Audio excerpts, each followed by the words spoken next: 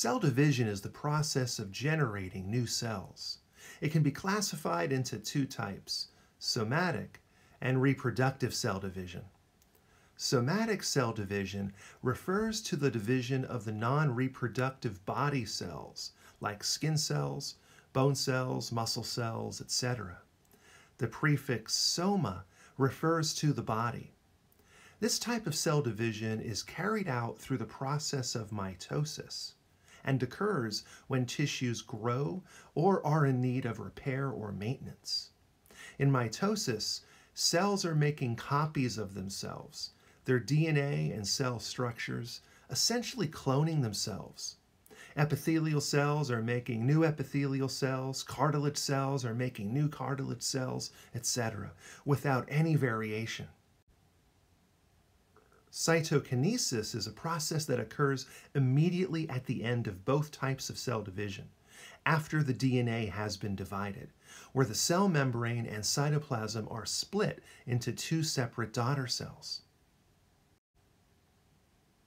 Reproductive cell division is responsible for the production of the gametes, or sex cells, including the egg and sperm, through the process of meiosis.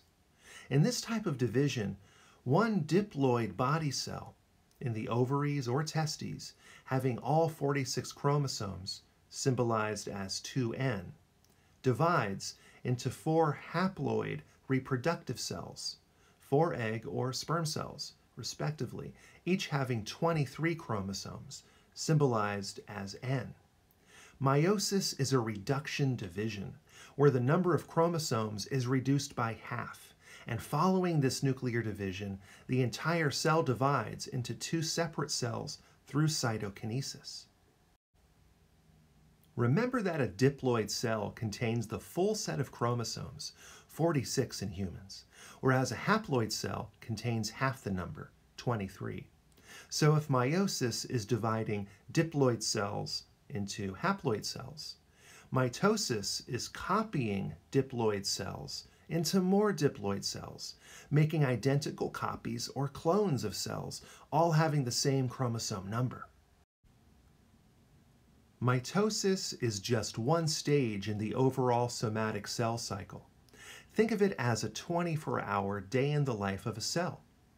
One diploid parent cell spends most of its time preparing to divide, so it has to make copies of everything the future daughter cells will require, including all of its organelles, enzymes, and DNA. The actual cell division occurs during the relatively brief M stage. M stands for mitotic. Most of the time, the cell is in a long state of preparation called interphase and is busy copying everything the future daughter cells will need before mitosis begins. There's a lot of time and energy invested during interphase, which is split into three stages, G1, S, and G2. Just think of all the preparation that goes into a wedding, or the training that a runner undergoes preparing for a marathon. Hundreds of hours over many months are spent getting ready for an event that is relatively brief lasting only a few hours. Think of interphase as the intermission between divisions in the M phase.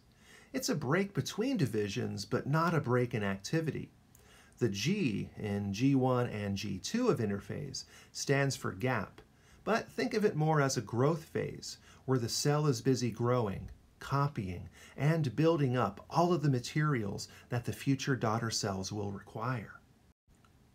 Cells spend most of their time in interphase, while actual mitosis is brief. Look at the time frame.